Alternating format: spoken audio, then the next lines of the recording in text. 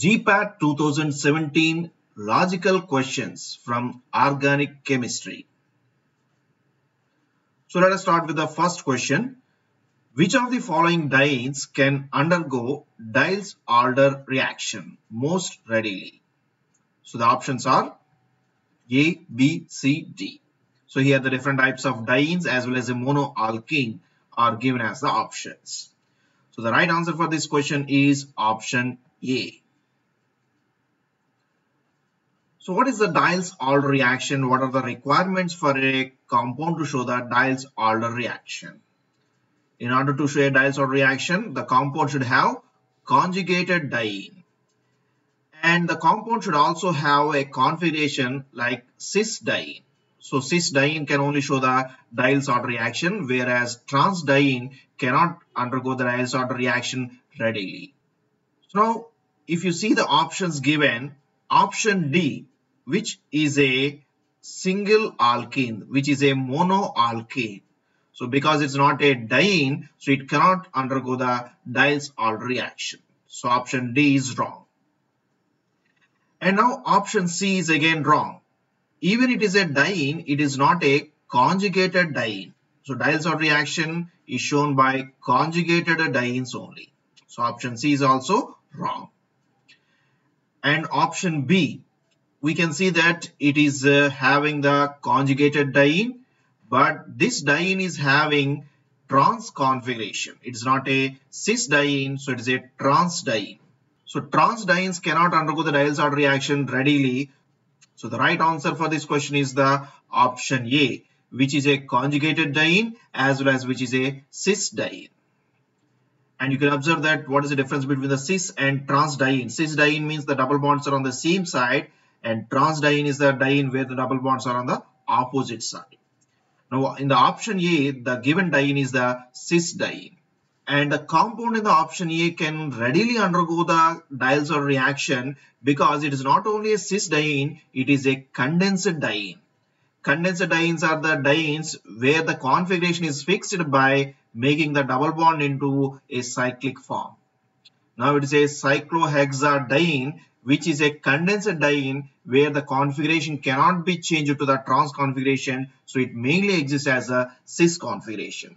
So it can readily undergo Diels-Alder reaction. So option A is the correct answer for the given question. Which of the following compounds will be oxidized by chromium trioxide in acid? So the options are 4-methyl cyclohexene 3-methyl-3-hydroxy cyclohexanone and 4,4-dimethyl 1-methyl 1,3-cyclohexane diol and 2-methyl cyclohexanone. So the right answer is the option C. Chromium trioxide. So chromium trioxide can react with the alcohols. It acts as an oxidizing agent, thereby can convert the alcohols into the ketones. Now, these ketones can also be further converted into carboxylic acids by the reaction of the chromium trioxide. But it does not oxidize the alkenes and it does not react on the cyclic ketones. So in this way, you can find what are the option containing the alcohol. So here the option C is the cyclohexane diol, which is an alcohol which can be converted into corresponding ketone. So this is the right answer for this question. Which of the following statement is true about the following reaction? The product will not have stereo center. The product will have R configuration. The product will not have S configuration. The reaction will happen with racemization. So the right answer is the product will not have stereo center. So you can observe it is a SN2 reaction and the nucleophile is the OH minus and the leaving group is the obviously chlorine group. So SN2 reaction, SN2 reaction leads to the complete inversion of the configuration, what we call the Walden inversion. But this complete inversion of configuration is observed when the reaction takes place at the stereocenter. When the reaction takes place other than at the stereocenter, there is no inversion of the configuration is observed. So in the given compound, chlorine is the leaving group which is not present at the stereoactive center but which is attached to the CH2. So now when the reaction is going to take place at the chlorine, there is no inversion of the configuration takes place in this reaction.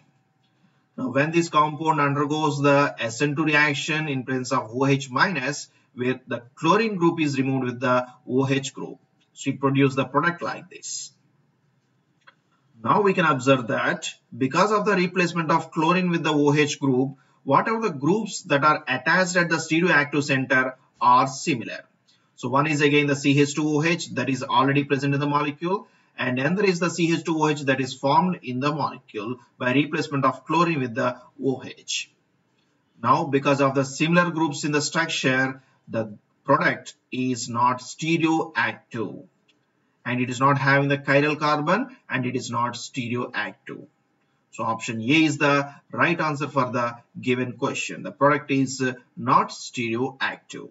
So these are the various logical questions that were asked in the GPAT 2017.